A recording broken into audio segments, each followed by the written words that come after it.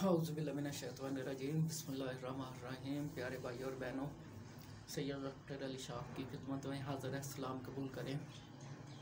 अल्लाह ताला आपके वालदेन का साया आपके सरों पर सदा सलामत रखे। अल्लाह उनको लंबी से तंदुरुस्ती वाली ज़िंदगी अता करे। जिनके वालदेन बहुत हो चुके हैं, अल्लाह ताला उनको जन्नतफरदौस में आला मुकाम अता करे। आमीन। अल्लाह ताला आपको, आपके बीवी बच्चों को, आपके बहन भाइयों को, आपके रिश्तेदारों को, अज़ीज़, अकारब को, आपके दोस्तों को लंबी से तंदुरुस्ती वाली ज़िंदगी अदा करे।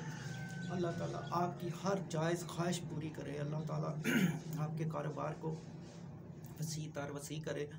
अल्लाह ताला आपको हर तरह की परेशानी से दूर रखे। दुनिया और आखिरत में कामयाब व कामरान अता फरमाए। तो जिनकी औलाद नहीं, अल्लाह ताला उनको नेक और साल औलाद अता करे। जिनकी नौकरी नहीं, अल्लाह ताला उनको नौकरी अता करे। जिनके कारोबार नहीं चलता, अल्लाह ताला उनका कारोबार चलाए। आका पाक दो जहाँ के कदमों की खाक के सदके उस, उनका कारोबार चलाए। तो जो मेरे मुल्क से बाहर बहन भाई हैं, अल्लाह ताला उनको हिफ्ज़ में रखे, कदम पर कदम पर उनकी हिफाजत फरमाए। वो खैर खरीत से गए हैं और खैर खरीत से वापस आएँ। अल्लाह ताला उनकी हर तरह की हिफाजत फरमाए, जिस मकसद के लिए वो बाहर गए हैं, अल्लाह ताला उनका मकसद पूरा करे, उनकी हर जायज़ ख्वाहिश पूरी करे, वो अपने मकसद में कामयाब होकर वापस लौटे। आमीन।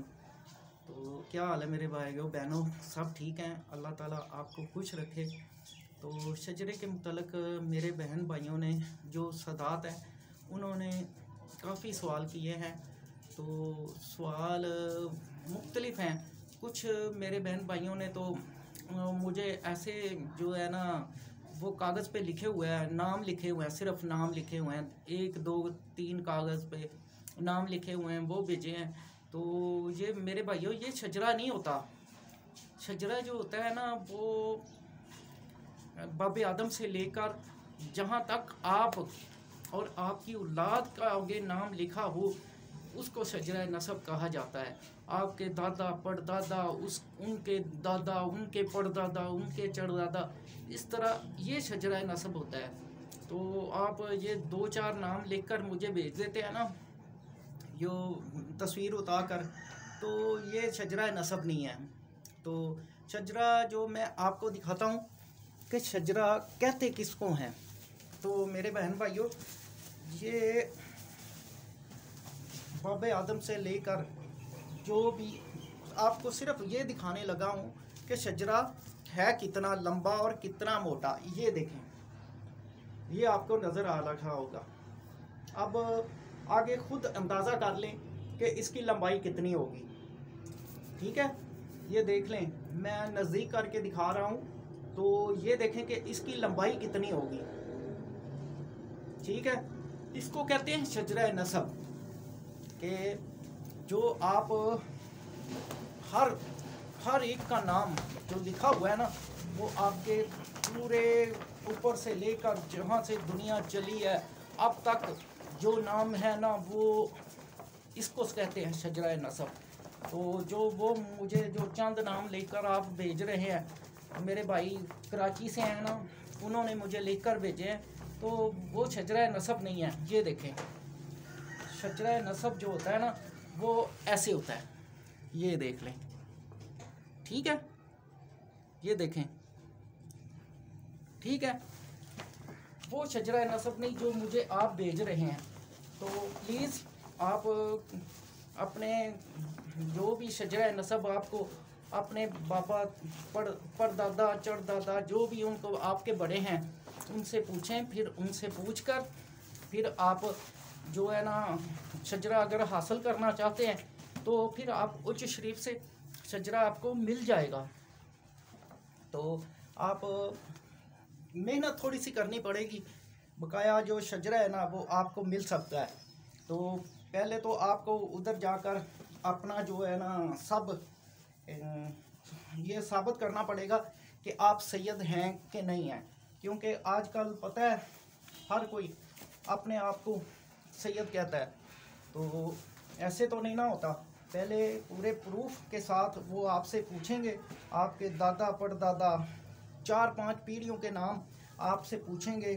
फिर वो छजरे में देखेंगे कि आपके परदादा, चरदादा जो भी हैं, उनके नाम लिखे हुए हैं या नहीं लिखे हुए हैं। अगर लिखे होंगे तो फिर आपको शजर नसब ज़रूर अता करेंगे।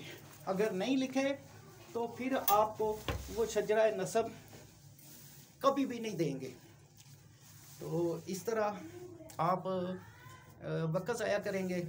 तो शजर नसब जो होता है ना, वो सदात के पास एक सनद होती है अपनी कि ये हम सदात हैं, ये हमारा ख़ानदान इस तरह चलता आ रहा है। तो ये सदात हम रिश्ता, अपने बच्चे, बच्चियों का रिश्ता ये देख ये शजरा आपस में मिला कर के जो शजरे में नाम हमारे भी आता है उनके भी आता है तो फिर जब एक नाम मिल जाते हैं ना शजरे में तो फिर हम रिश्ता करते हैं तो इस तरह शजरा हर किसी को ना ही दिखाया जाता है तो ना ही मैं तो मैंने तो ये अपलोड किया था सिर्फ़ आपकी मालूम के लिए कि आप देख लें कि सादात के पास ये होता है और ये सालों साल चला आ रहा है हमारे पास। हमारे बड़ों से फिर बड़ों से होता हुआ आ, आगे नस्लदार नस्ल नस्लदार नस्ल चलता आ रहा है।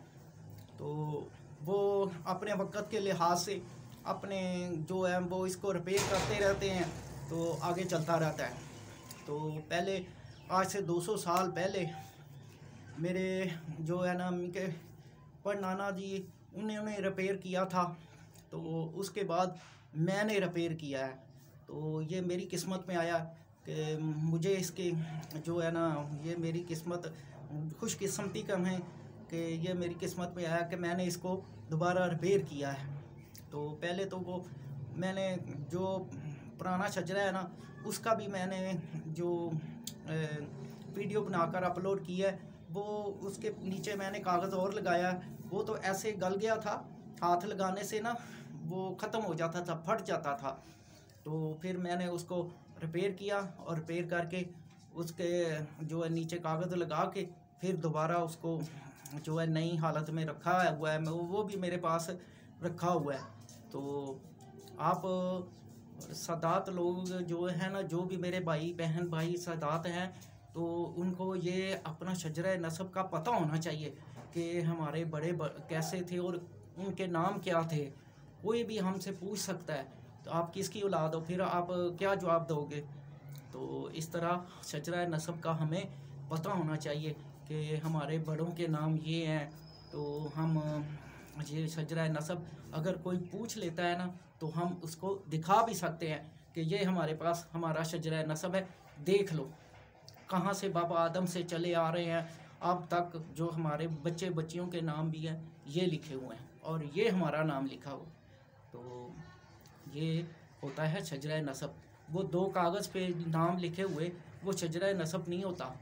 शजरा नसब, मैंने आपको दिखा दिया कितना मोटा होता है। देख लिया, लंबा, इसकी लेंथ बहुत लंबी है। तो ये शजरा नसब है। एक दो नामों से शजरा नसब नहीं बनता मेरे भाई, एक दो नामों से शजरा नसब नहीं बनता।